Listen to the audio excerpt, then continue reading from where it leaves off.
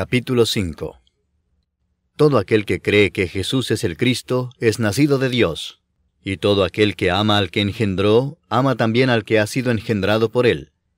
En esto conocemos que amamos a los hijos de Dios, cuando amamos a Dios y guardamos sus mandamientos. Pues este es el amor a Dios, que guardemos sus mandamientos, y sus mandamientos no son gravosos.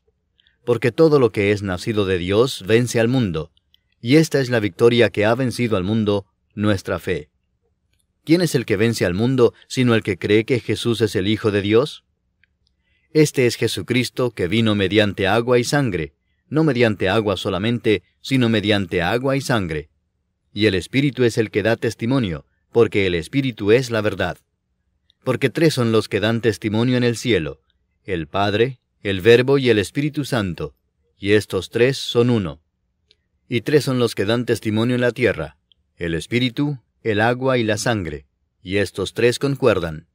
Si recibimos el testimonio de los hombres, mayor es el testimonio de Dios, porque este es el testimonio con que Dios ha testificado acerca de su Hijo.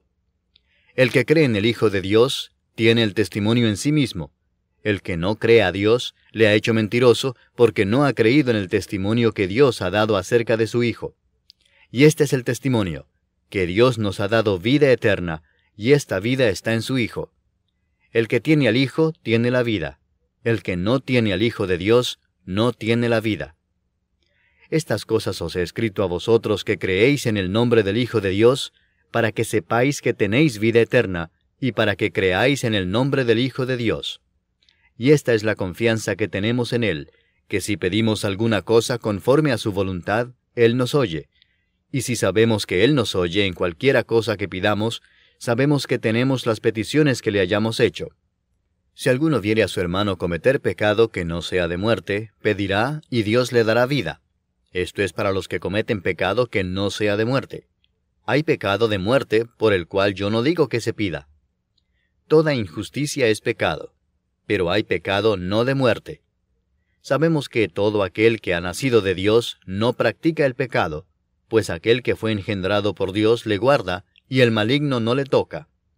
Sabemos que somos de Dios, y el mundo entero está bajo el maligno, pero sabemos que el Hijo de Dios ha venido y nos ha dado entendimiento para conocer al que es verdadero. Y estamos en el verdadero, en su Hijo Jesucristo. Este es el verdadero Dios y la vida eterna. Hijitos, guardaos de los ídolos. Amén.